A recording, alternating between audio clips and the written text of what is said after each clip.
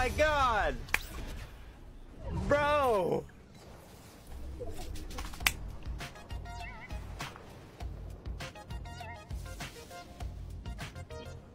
Motherfuck. My first victory, dude.